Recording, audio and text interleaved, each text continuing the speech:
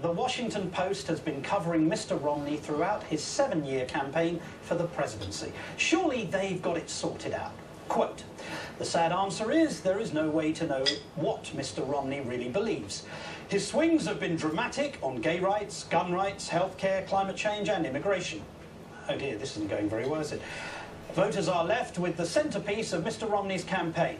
Promised tax cuts that will blow a much bigger hole in the federal budget while worsening economic inequality. His claims that he could avoid those negative effects, which defy math and which he refuses to back up with actual proposals, are more insulting than reassuring.